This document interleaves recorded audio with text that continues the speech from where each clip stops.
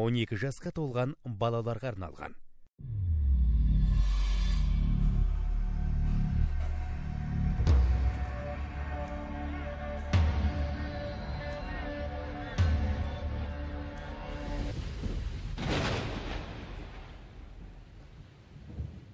Кеш жарық ардақты ағайын эфирде бабалар хабары. Бүгінгі тақырыбымызды қараш руынан шыққан ахундар ишандар әулиелі тұлғаларға арнаймыз. Қош келдіңіздер құрметті қонақтар. Ал енді жалпы осы бейнеу төңірегінде қарабұлақтың маңында дейміз есет тауының маңы дейміз желтау тауының, тауының маңы дейміз. Біраз осы әлі күнге дейін ел аузында аңыз болып айтылып жүрген қараштың мықты мықты тұлғалары жатыр. Мәңгілік мекен тапты. Соның ішінде осы мәңгілік мекен болып қалған мұра болып қалған байғұл қажы туралы айтқым келіп отыр сұрағым келіп отыр байғұл қажы туралы. Жалпы қай дәуірде өмір сүрген байғұл қажы? Ә, кімдермен шамалас өмір сүрген? Ә, сол сұрақтарға жауап берсеңіздер. Енді біз біз енді біз біз білмейміз ғой жаспыз ол өмір, өмірден ертерек өтіп кеткен кісілер. Иә. Бірақ мен әкемізден естіген әңгіме сол бар білетінім айтатыным. Қанбекұлы байқұл қажы атамыз заманында жап жас кезінде жиырма бір жасында жаңағы досжан қазіретпен ілесіп табын досжан қазірет иә табын досжан қазіретпен бірге тоқсан адамның үстінде дейді шалдардың айтуы кіші жүзден қажылыққа елге хабар айтылып ал жинақталың бірге барайық дегенде тоқсанның үстінде адам жиналған екен. Сол тоқсанның үстіндегі адамның бірі байқұл қажы қаныбекұлы атамыз біздің. Сол оның ар жағын айтатын болсақ менің естуім әкемнен иә. Сол жаңағы алты жеті жасында жеті сегіз жасында баласын осы дінге жақындау болғасын осы дінге құмар болғасын әкесі ойланып "Ай, баламды осы дінге сабаққа берейінші молдаға берейінші деп ә, қайнар деген жерде қайнар тасастау. қайнар тасастау қайнардағы қашақұлы досжан қазіреттің медресесіне береді. Содан енді он төрт он бес жасына дейін сол жерде оқып ей бұл бала талабы ынтасы күшті екен бұны ары қарай оқыту керек деп сол жаңағы досжан қазірет айтқасын әкесі бұл атамыз байқұл атамызды хиуаға жібереді. Сол жерде жеті жыл оқып жиырма бір жасында сол жақтан бітірген кезінде сол жаңағы досжан қазіреттің айтқан қажылығына бас қосқанда мен де барамын деп шығады. Ең жасы сол болады тоқсан адамның ішіндегі ә, байқұл қажы атамыз. Сонымен аман есен барады. Сол жерге барған кезінде орта жүз бен ұлы жүзді бастап келген әкесінің атын да білетін едім ұмытып қалдым. Абай құнанбаевтың әкесі құнанбай дейтін кісі кездеседі.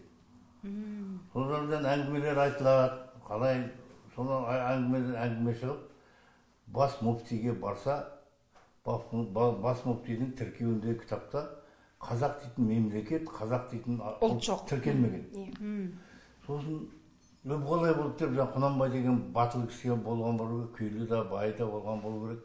Сол жаңағы бас мүфтиге айтыпты біз деген қазақ дейтін елміз мемлекетпіз біз тіркелейік давай дегенде сен қалай дәлелдейсің дәлелдеу үшін қазақ мемлекетінің діни басқармасы мұфтияты болу керек қой мұсылман екендерін дәлелдеу иә сенде ол жоқ мұфтият тіркейміз бұл жерге сені тіркей алмаймын мен мұфтиің ба- мұфтиятың жоқ болса қалай тіркеймін енді бұны қалай дәлелдейміз дегенде сол жерден әңгіме шығып кетеді да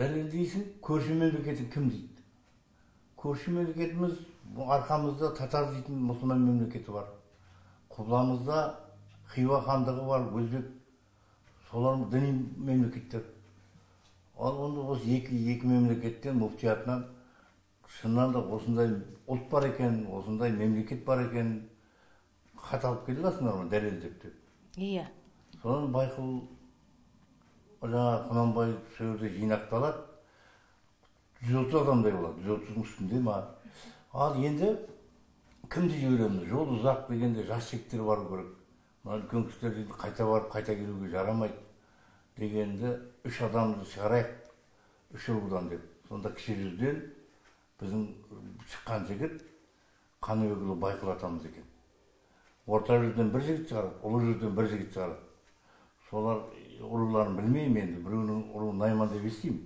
иә білмеймін енді оны. Сол үш жігітті жіберіп бірінші осы жолмен қайтып өтеді осы қазақстан үстімен өтіп қазан хандығына барып мұфтиятына барып хат алады көршіміз қазақ мемлекеті Мұсылман ел. ұстанады. Иә. Деп осындай жаңағы мұфтияттан мөрленген не алады справка сияқты бірдеңе енді. Соның қайтарында хиуа хандығына барады. Хиуа хандығы да алыс емес енді. Ол қазірде де алыс емес қой. Соған барып олардан да алады. Екі жерден мөрленген мұфтияттың печаты тұр ғой енді меккеде. Сол екі жерден хат алып келгесін жарайды онда деп сол бірінші рет қазақ дейтін мемлекет болып тіркелгенге себепші болған құнанбай ақсақалымыз шығар. Соның тілмәші болып жаңағы муфтиятқа кіргенде сонымен жаңағыдай дәлелденген жақсы деп тіркеледі. Енді осы қазақтар ақылдаса келіп ей мынау енді қаңғып далада жатырмыз тоз тоз болып. Қазақ осындай зияратқа жаңағы қажылыққа келген кезінде бір тоқтайтын демалатын орын қонақ үй ғой қазір. қонақ үй салсақ қайтеді деген ғой салайық деп сол бәрі ақша шығарады көп ақшаның несін құнанбай қосады ол бай кісі болған сосын кіші жүзден ең көп ақша қосқан байқұл атамыз болады. Бұл да байдың баласы. Керемет иә сонымен такия деген менің естуімше енді анаң білмеймін бірақ такия деген сөз тоқтайтын орын деген сөз иә сөйтейді тоқтайтын орын деп аудан ана мекке қаласының шетірек жерінде сол такия микрорайоны әлі бар ғой қазір де бар содан олар давай құрылысты бастайды жиырма жеті бөлме тақия адай қазақтың айтып кеткен тақия мешітін содан такияға мешіт салынады такия деген жаңағы микрорайон жердің аты иә содан тақияға мешіт бітеді енді құжаттау керек бұны бая бітірдік деп сол мекке қаласының әкімдігіне барып бітірдік осыны құжаттайық деп едік деп барса «О, бұны құжаттау үшін осы мекке қаласының тұрғыны керек сіздер құжат бере алмаймыз. Делінеді. Иә жергілікті тіркеу ғой қазіргі. Қазіргі бітейік да иә иә жергілікті адам болу керек содан әр ойлап бұғасы қалай болды? Не зданияны салып тастаған. Сонда сол жерде жылмаңдап қызмет етіп анау мынау деп сөйлесіп жүрген біздің шалдардың айтуынша сарт дейді. Бір сарт жігіт жүреді екен өзбек па ол тәжік па білмеймін енді оны сол айтады менің атыма жазың мен осында тұрамын келіңдер мен жылда күтіп аламын сендерді тұра берсін менің атымда дегесін ең бірінші бірақ құнанбай айтады үш рет үшінші рет қарыздыққа келіп отыр екен мына жаңағы қашағұл досжанның атына берейік үйді дейді еңбегі бар екен сонша шәкірттер тербиелеген неше жылдан бері табын табын досжан қазір иә соған берейік деп құнанбай айтады атты соған беру керек. Дұрысы деп. Сонымен бірақ жаңағыдай болады документ келіспейтін болған сарттың атына документ шығарылады сол тақия мешітке сол арада бірнеше жыл өткенде кейін қазақтар барса ғой жаңағы төсек орын алыпты ғой сол сарт. Мен күтіп жатырмын қызметшілерім бар айлық төлеймін мынаның ремонтына қараймын мынау мынау деп барған қазақтан төсек орын алыпты.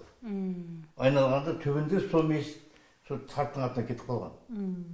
Менің естуімше арада бірнеше жыл өткенде ол сарттың аты сарт қой бірдеңе қылып өз атына аударып алған. Өз атында тұрған зат қой бұл енді өз атынан шыққан документ ол қараушы ретінде алды ғой негізі. Негізінде қараушы ретінде алып иә қалған адам қараушы боламын күтемін осы сендер келгенде дайындап қоямын деп. Бұл енді здание жиырма жеті бөлме дейді. Ол күтуге де қарайған адам керек қой дұрыс айтады иә. Оның ішінде ремонты болады бұзылады сынады дегендей сол заманында. Мен осы атамыздың енді екі рет қажылыққа барып дейтін әңгіме қайдан шығады? Бірінші қажылыққа барды ол екі жыл құрылыс болады ана басында жатыр. Түгел жаңағылар екі жылдан кейін келеді. Жаңағы қажылыққа кеткен адамдар. Кеткен адамдар басы қасында болып құрылыс жүргізіп жаңағы тақия мешіт тұрғызады тақия мешіт керемет енді арасында тағы ауылға келді ғой. Иә. Татарстанға өтті. Сосын қайтып келе жатқанда үйіне соғады. Енді менің естуімше жаңағы үйі қазіргі мына қарабұлақтың қарабұлаққа. Өзінің ауылына соғады иә. Мен қазанға барып қайтып келдім қайта тағы мен қажылыққа кетуім керек. Жол Сондықтан күтіп жатыр адамдар. Деп халықтың аузында менің әкемнің айтуы бұның бәрін мен білмеймін анық. Сол екі рет қажылыққа барды дейтін әңгіме осыдан шығады бір рет барып үйіне қайтып келді. Сосын тағы кетіп енді құрылысты бітіріп екі жыл екі үш жылдан кейін қайтып келді ғой иә. Ә, енді содан байқап жатырмыз екі рет қажылыққа барды деген елдің арасында біз анығын білмейміз бірақ. Қазір осы тарихқа қызығатын жастар бар ғой расында да. Қызығатындар бар. Себебі тарихы жоқ елдің болашағы жоқ дейміз ғой. Сондықтан біз тарихпен байланысты болашағымыздың барлығы. Мына қасыңызда отырған ә, зәмзәгүл мына ғылыми жұмыспен айналысып жүр екен. Сол үшін арнайылап қонақ қылып шақырып отырмыз. Мына эскиздегі зәмзәгүл сен ғой дайындаған. Иә ал бізге сәл бір түсіндіріп берсең. Ең алдымен бұл жобаны қорғау мақсатында мына мешіттің өзі ғой да. Иә қайта қалпына келтірілген өз классына қара тіктелген мешіт орны. Бұл ә, сіздерге беймәлім болып тұрған ағаш үйлер ә, біздің ә, осы ғылыми жоба негізінде қойылған ұсынысымыз болатын. Бұл жерде этно ауыл ұйымдастырғымыз келеді. Бұл жердің табиғаты кез келген адамға таныс мәлім деп есептеймін. Соған байланысты этно ауыл ұйымдастырып және қарапайым халықты бір жағынан қаражатпен қамтамасыз етіп сонымен қатар демалыс орнына айналдырғымыз келеді. Туризмді дамыту туризмді дамыту. Ә, қазіргі таңда бұл енді қайта қалпына келтірілді. Табиғаты тамаша. Неге адамдар демалып осы өлкені осындай демалыс орнына айналдырмасқа деген шешімге келе отырып қасына 12 ағаш үй тігіп осындай ағаштарды орналастырған болатынбыз.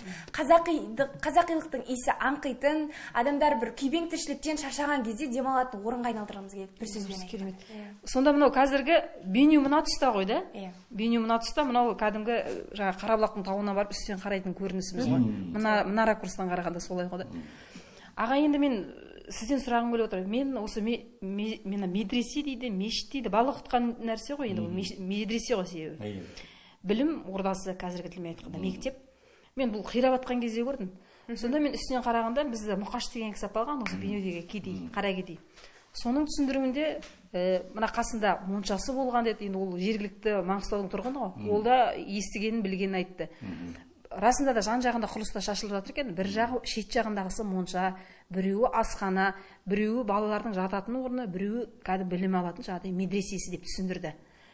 Ал енді қазіргі құрылысында жөндеу жұмыстары жасалды. Қазір дәл осылай ма? Қазіргі көрінісі енді бұл, бұл, туралы айтсам мына байқұл қажы атамыздың салған медресесі ғой. Иә. Мешіт медресесі мына мына балам он екі үй ма мынау? Он екі үй қойыпты. Осының бәрін осы зерттеген адам бірі менмін. Он екі жерде үйдің орны бар. Расында да солай ма? иә мына иә он екі үйдің орны жатыр.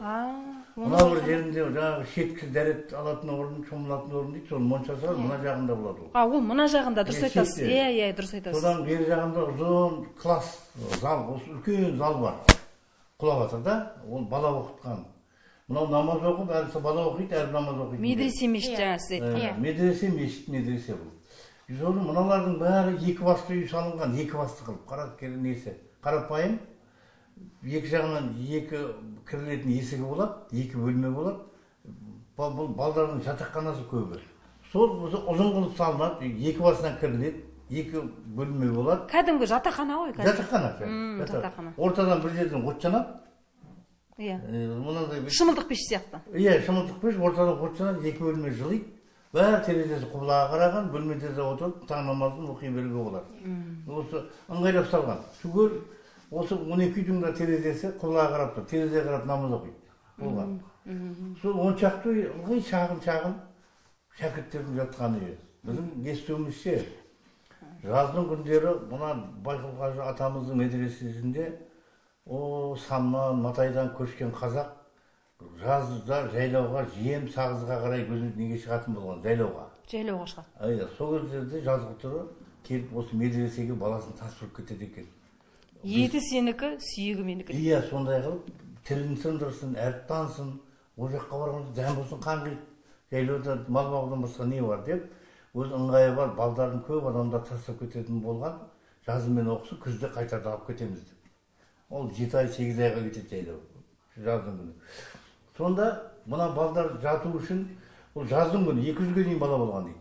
Ал қысқа қарай енді жаңағы жайлаудан қайтқанда бала шағасын алып кетсе отыз бала қырық бала қалады мына жатақханаларда тұрып олар үнемі оқитындар. Тұрақтайтын балдар. Тұрақты оқитындар. Кәдімгі дінге дұрыс беріліп діни сауат аламын дегендер отыз қырық бала қыста да үзілмеген Керемет. мына жағында шетте бар енді мына қазір бұл түсініксіз ғой мына жақ шетінде жеменей айтқұлишан дейтін болған айтқұлишанның шетте тұрған үйі бар мен бала кезімде әкем көрсеткен содан білемін білемін мыналардан бөлектеу ол мына мына баламыздың қиялынан туған негізі сәл алыстау тұрғанда айтып отырсыз ба иә айтқұлишанның үйі сол көрдің ба есімде көрдім көрдім мен бардым деп отырмын ғой ол жерге төбеден барсаң оң қолыңда бар иә иә оң жағында көрдім оны жаңғыз үй сол енді бұл айтқұл дейтін мына аға атамыз қайтты ғой.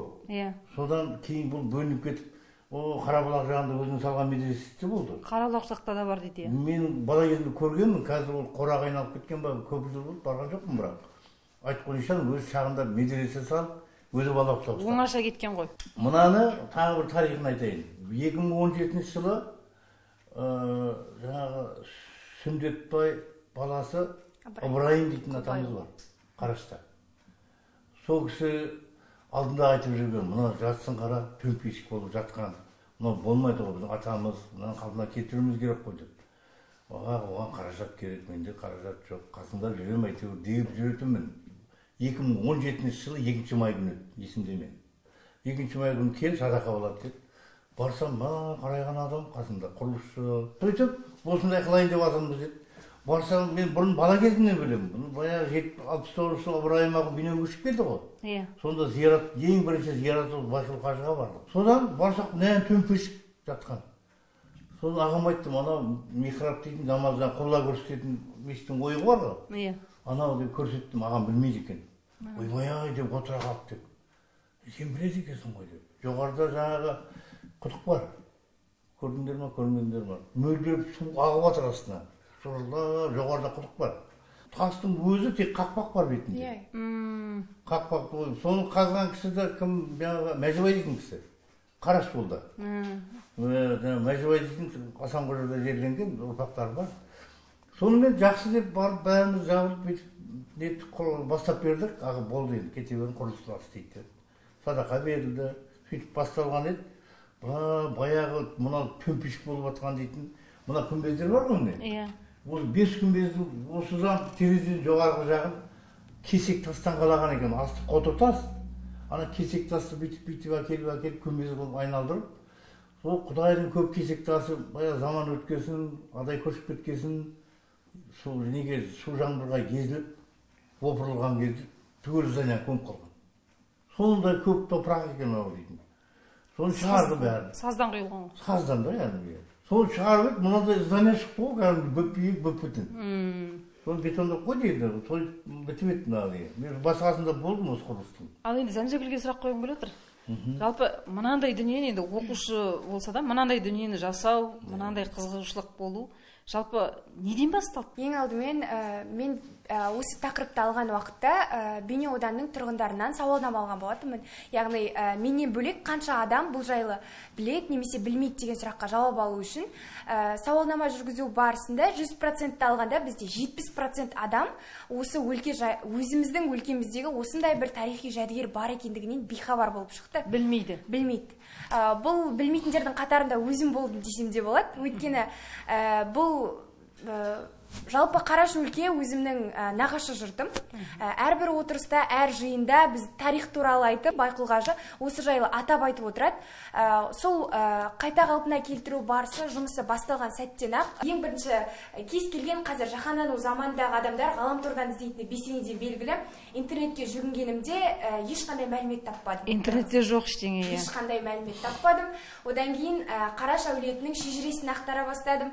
Одан да кішігірім мәліметтер таптым. Және үшінші себепшісі осы алдымызда отырған кісі. Осы кісінің ә, жаңағы деректерден тауып өзімнің нағашыларым арқылы связьға шығып осы кісінің ә, көптеген мәліметтер алдым десем болады жалпы мына ғылыми жұмыс бойынша бір жетістіктер бар ма? Ә, осы ғылыми жұмысқа енді өзімнің сіңірген еңбегім деп айтсам қателеспегенім болатын шығар. Қазіргі таңда ешқандай бұқаралық ақпарат құралдарында бұл жайлы ешқандай мәлімет жоқ деп дөп басып айта аламын. Қазір ә, жергілікті газет міне көз алдарыңызда тұрған рауан газетіне өзімнің мақалам бейнеу аудандық газеті. Иә, бейнеу аудандық газет.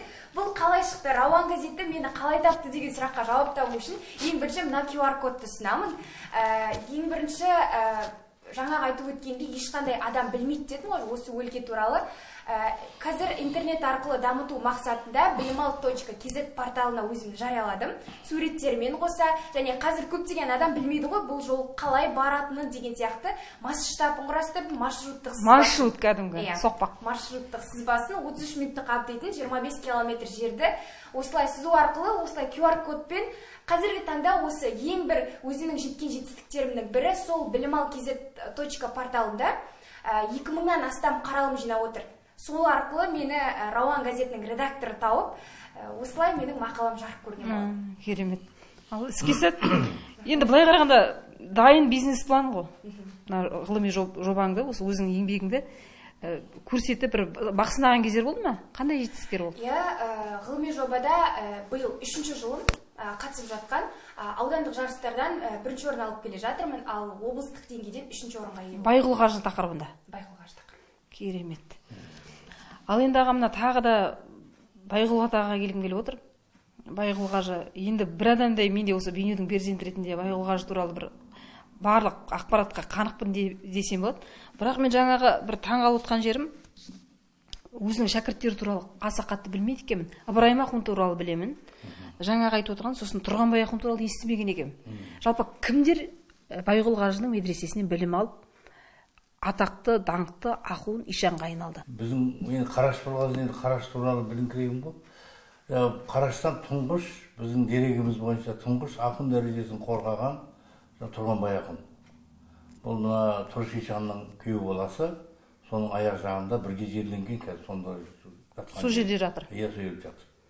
Бұл қараштан шыққан тұңғыш неміз ишанымыз ақын жаңағы ақынымыз екіншісі ыбырайым ақын сосын шегемде қайыш ақын деген болған осы кісінің шәкірті болды барлығы да иә сосын жаңағы шоңай шайх ақын деген болған осы медрестен шыққан бәрі шайх ахун да осында оқыған ба осыдан бастаған осыдан бастаған сосын хиуадан білімін аяқтаған ба иә иә баста мына кісі мінәсі осыдан ыбырайым ақынымызға қазір мінекей ауданымыздағы орталық мешіттің атағы берілді ғой. Иә. Ыбырайым ақын деген. Иә. осы кісінің шәкірті мықты. Ал енді ыбырайым ахун жаңа айттыңыз ғой зираттап келді дедіңіз бергеректе осы. Осы байғұл қажының өзіне. Жалпы ыбырайым ахун көзіңізбен көрдіңіз ғой Иә, сонда? қандай кісі болды? Бізге суреттеп беріңізші. Енді асылдың сынығы ғой ондай Иә, адамдар. иә ой оны айтады білмедік қой ол кезде бала болдым мен. Алпыс тоғызыншы жылы біздің үстімізге көшіп келді Бейнеуге ма? бейнеуге. Ол бейнеуге көшіп келді гагарин дейтін жерден. Оған себебі болғанда мен шалдардан естіген әңгімемде бейнеуде ол кезде қарашы өте азбыз сол алпыс сегізінші жылы жаңағы менің әкем ыбырайым ақынның шәкірті батырлы жұмағұл деген кісі. Ә, осы бейнеуде ыбырайым ақын жетпіс бірінші жылы қайта көшіп кетті ғой. Иә. Сонда осы имамдыққа сен жарайды екенсің баяғы оқығаныңды көп затты ұмытпаған екенсің деп менің әкем батырұлы жұмағұлды осы бейнеуге имам қылып ұсынып айтып кеткен иә. Содан сексен тоғызыншы жылға дейін қайтыс болғанына дейін осы ауылда молда имам болды менің әкем жаңағы батырұлы жұмағұл өз әкеңіз өз әкем иә мен сол біздің үстімізге көшіп келді құрманғазы отыз екі жұма батыр жұмағұлдың үйі құрманғазы отыз төрт келесі үй арасында үй жоқ құлбай ыбырайым ақынның салған үйі сонда тұрдық екі жыл көрші болдық содан жаңағы ұзын ақбаша келген көп сөйлемейтін көршіміз ғой енді күнде көріп жүрміз арада шаруақта жоқ ол кезде тақтайлар тұрады мал кіріп кетпесін деп қазіргідей тас қоршау жоқ әйтеуір соны жаңағы күнде кешке үйдің алдын сыпырады сол ол кездерде енді қазіргідей палас кілем жоқ жаңағы пала- палатка бірдеңе төселінеді есіктің алдына су себіледі соны елдің бәрі жиналып отырады ақын ата шығады тым тырыс тишина балдар шуласа қуады бізді. Шуламай тыңдап отырсаң отырасың. Соны жаңағы көп адам жиналып отыра қалады ыбырайым ақынға сұрақ қояды. Бүйтеді. Қолын көтеріп отырады бүйтіп мына «Ә, сауал айта ғой. Дейді сауал қояды. Ыбырайым жауап береді ана кісі бүйтіп отырады тағы айта ғой. Кезекпен бірнеше сағат бойы сауал жауап. Сұрақ, жауап. сұрақ жауап. Сөйтіп күнде жиын болатын еді мен көз соның баламын сонда он екі он үштегі баламын ғой енді соның бәрін көріп өстім ыбырайым ақын деген кісі бір керемет сондай тұ- тұңғиық терең ол туралы да ұзақ ол бір темаға тақырып сыйыңқырамайды ау иә сондай үлкен әңгіме бар енді сыйыңқырамайды ау оның жаңағы жаңғыз баласы болды ыбырайым ақын ысматулла деген кісі екі мың сегізінші жылы құлсарыға көшіп келген алдында екі мың сегізінші жылы жетпіс жасында қайтыс болды сол ыбырайым ның баласы ағам мені бейнеуге келсе онда гагаринде тұрады бұлар иә. Бейнеуге келсе звондап мені шақырып алады деді. Ей мында келші сол анда апар мында апар дейді. Сонда әңгіме мен сұрақ қоя беремін ол тыңдап ол айтып отырады содан біраз әңгіме құлағымда қалған. Шалдардың әңгімесі ғой айтып жүрген жалпы жаңағы ыбырайым ахунның былай ә, қазіргі жаңағы тілмен айтқанда аурасы бір керемет адам болды ма? М, керемет. Бір айта кететін оқиғада жаңағы байкөл қажыға барды ғой сол жеті алпыс тоғызыншы жылы мен баламыз андай бір будка машинамен бардық теміржол есімде сол барып шулап жүрміз балдар анда секіріп мында секіріп бір кезде ей жиналың жиналың бергенім құран оқиды отырың отырың шуламаң деді да сосын барып жүгіріп жүгіріп келіп отыра қалдық қатар түсіріп сонда ыбырайым ақын ортада отырып мен бапам да бар көп біраз адам бармыз енді құран оқып бастады жайлап оқиды ана кісі дауысы қатты шықпайды қоңыр дауыс Күбірлеп оқиды. иә жайлап иә сол бүйтіп келді көзім түсіп кетті да ұзақ оқып кетті ау деп қарасам сақалының арасынан жас тамшылап тұр жылап отырып оқып отыр екен ғой анау жеті жасында келген мына медресеге жаңағы тұрғанбай ақын дейтін он он бір жас үлкен қарасы ағасы сол пана қылған мынау да ағасы ғой атасы ғой енді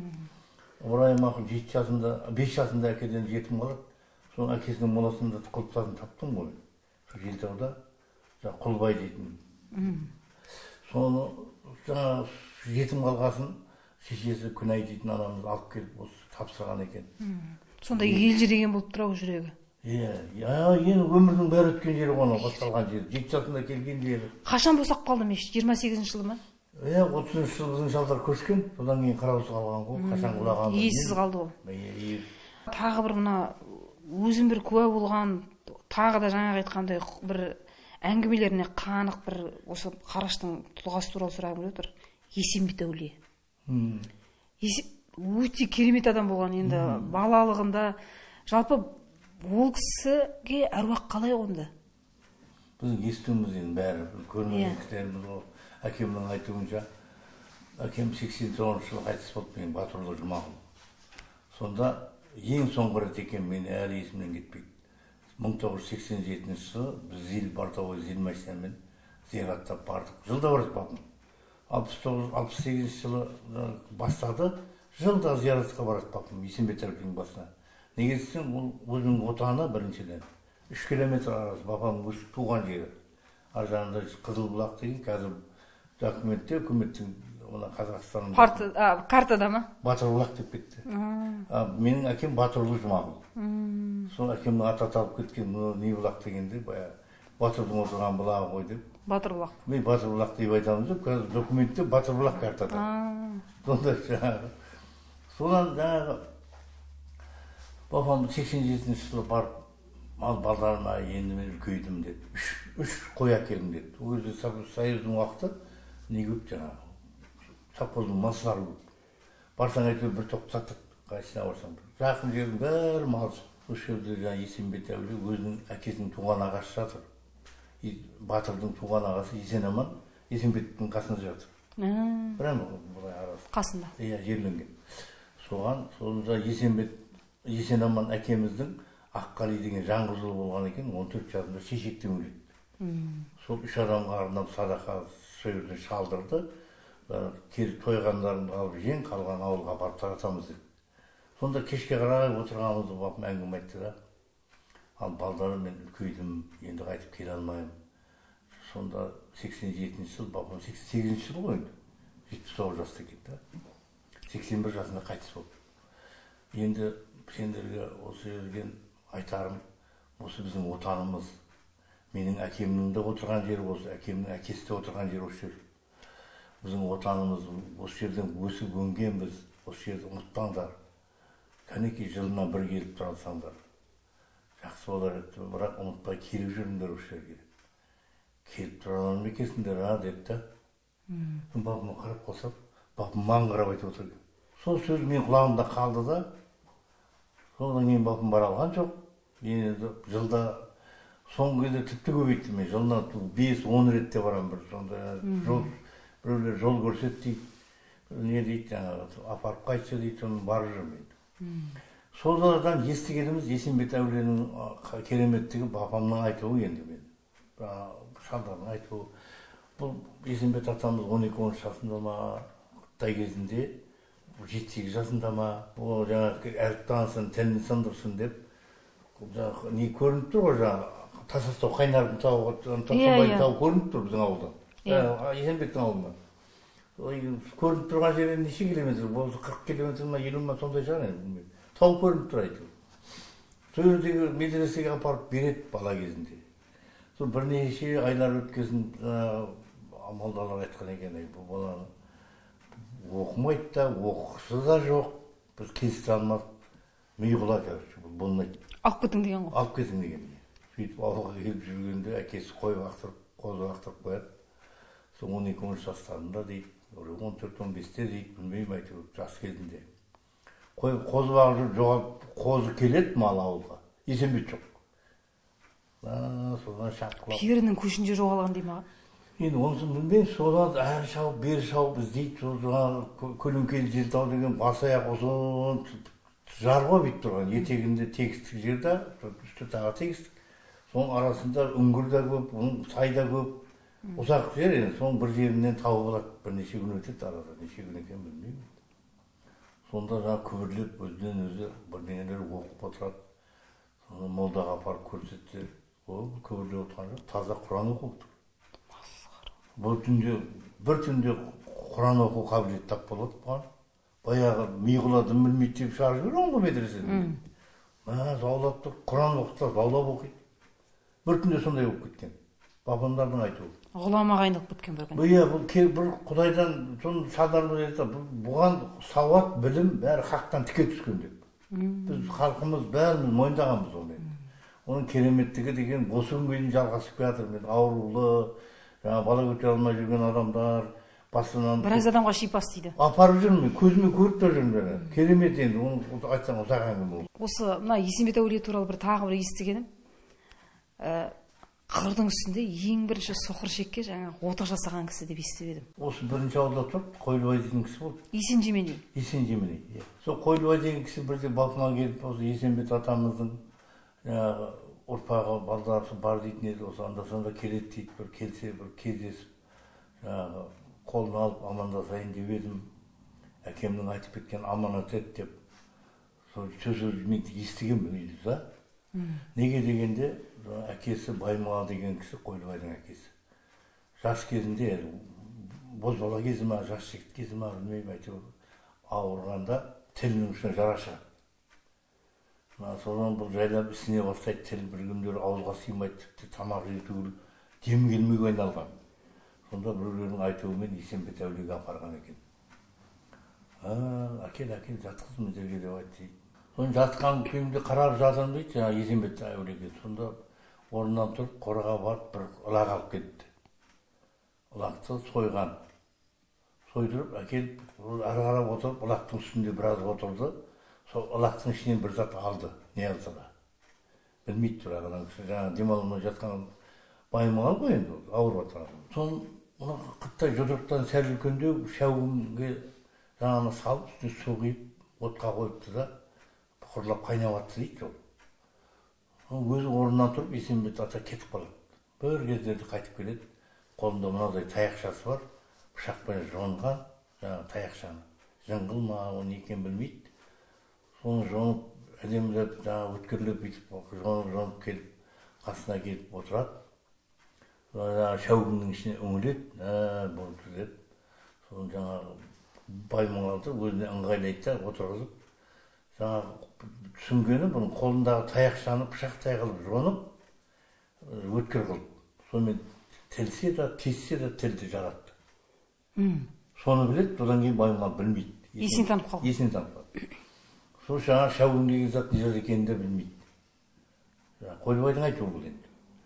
Соны сонымен емдеген не керек? Бай көзін ашып есін жинаса баяғы жұдырықтай болып ісіп кеткен тіл орнына келген қандырың атқан кәдімгіден жақсы болып қалып соны аман қалады не керек соны әкесі балдарына айтады екен осы мен әуелі құдайдан содан кейін есенбет әулиеден сондай жаңағы ем алып осы сендер дүнияға келіп ұрпағым тарауына себепші болған есенбет әулие соның бір ұрпақтарын бала шағасын көрсеңдер құрметтеп жүрің амандасып жүріңдер деп әкем айтқасын келіп отырмын жаңағы есенбет әулиенің ұрпақтары болса әкесінің аманатын орнына илеп келген ғой иә сөйтіп сол жер есімде ал енді сосын аға осы мен бір естіп едім жаңағы өзінің осы есенбет әулиенің баласы ділмұхаммед па дін мұхаммед па соның қолжазба бір құран кітаптары жүретін еді осы қолдарында деп. қазір сол жәдігерлер кімде екен қайда екен есенбет атамыздың мақсым мерей ділмағамбет дейтін үш баласы болған жеті қызы болған жеті қыздың мен бесеуін таптым ұрпағын екеуінің ұрпағын білмеймін мен таппай жүрмін. Жеті қыздың. Ә, әр руларда болған енді ұрпақ тараған бесеуінің ұрпағы бар қыздар. Жиендер да жиеншарлар енді қазір жиендер Иә. кетті ғой ал содан жаңағы мақсымның мақсым деген үлкені соның екі баласы болды жаңағы әбдікәдір берген деген. Мақсымды жиырма тоғызыншы жылы мына қаратөбенің жағасында отырғанда совет үкіметі алып кетеді жаңағы білеулі деген жерге тергейміз тексереміз мына неге діндарлар тексеріп алады. содан қайтпайды сол жаңағы кетіп бара жатқанда әйеліне айтқан екен әй қауіп қауіп үкіметтен қауіп болып тұр кемпіріне айтыпты міне құранға ант еттім құранға ант еттім құранды сандыққа салып қой осы құран сандықта жоғалмаса мен келемін түбінде сотталармын басқа қылармын анда санда қарап қоярсың деп. Құран жоғалса мен жаназамды беріп садақаны бере беріңдер депті сол күндерде қайта қайта қарайды әйелі. Ә, қара түлейдің жағасында отырады. Бір күндері сандықты ашсақ құран жоқ дейді. Соны ағайындарға ақсақалдарға айтады мә баяғы айтқан сөзді ешкімге айтпай жүр едім. Құран жоғалды енді қалай қыламыз? Деп сол жаңағы біреуде түрмеде өледі үлкен баласы бұл мақсым мерей дейтіннен орын жоқ ұрпақ қалмады сөйтіп естіп едім мен де сол үшінші баласы ділмағамбет дейтін кісі ділмағамбет дейтін кісіден үш қыз бірінші әйелінен бір қыз екінші әйелінен бір ұл екі қыз ол екі апамыз бар әлі үлкені қайтыс болды соны шеркеске берген үлкен қызын жаңағы бірінші әйелінен мамасы қайтқасын бір шеркеске ұзатқан екен ол шеркестен тараған жиендеріміз де бар ұрпақтарын бәрін танимыз. А ұл баласы жаңағы сәрсек дейтін шымкент облысында жетісай дейтін жерде азамат дейтін баласы бар. Ділмағамбет туралы айтатын болсақ бұл кісінің жаңағы тебесі мешітбай деген кісі болды осы жерде қарашта. Ділмағамбет қайтыс болғанда жаназасына барғанда қараған кітабы бар екен. Өзбегі бар тәжігі бар түрікменде бар әркімдер алып кетеді. Сол қай жерде қайтыс болған бұл кісі сонда қожелді қожелді қайтыс болды сол мешітбай деген кісі қолжазба құранды сұрап алады сол жерден сол құранды мешітбай сақтап жүреді мың тоғыз жүз он екінші жылы ма екен мешітбай қайтты тоқабай қалдыбек дейтін балаға тапсырылды ол кітап оған маған айтқаны қалдыбек кейін оқыды ғой енді біздің ата бабаларымызға осы қараш әулетінің өзіміздің әулетімізден жаңағы құран шығартатын болсақ ол бала бәрімізді біледі. Біздің шалдарымызды көбін көрген. Сол біздің ауылға құран шығатын болса сол құранмен оқиды екен. Өзі ма иә қалдыбек өзі айтты маған. Сол сіздің ауылдың құранымен оқимын деді. Себебі қолжазба. деді оны қолжазба. Бұны жазған қырық мылтық құжат деген деді бірақ. А солай ма екен? бұл жазушы енді ділмағамбет жаздырған шығар мүмкін енді білмеймін ар жағын қалай екен керемет. Ал енді аға білеріңіз көп екен. Енді осы әңгіменің бәрі ұрпақтың құлағында қалады таспада жазулы себебі. Өзіңіздің осы бабаңыздан әкелеріңізден жеткен осы мұраның барлығын ұрпаққа жеткіздім деп санайтын шығарсыз өзіңіз. Жас ғалым дайындаған екенсіз оқушы болса да бірталай ғылыми жұмысы жетістіктері бар екен. Ал аға жаңағы аманат деген нәрсе бар ғой аманатқа қиянат жасамау керек дейді. Аманатыңызды орындаған перзентсіз деп санаймын. Ал құрметті телекөрермендер осымен бағдарламамызға бөлінген уақыт аяқталды. Тарихы жоқ елдің болашағы жоқ деген бар. Тарихымызды түгендей жүрейік келесіде кездескенше күн жақсы.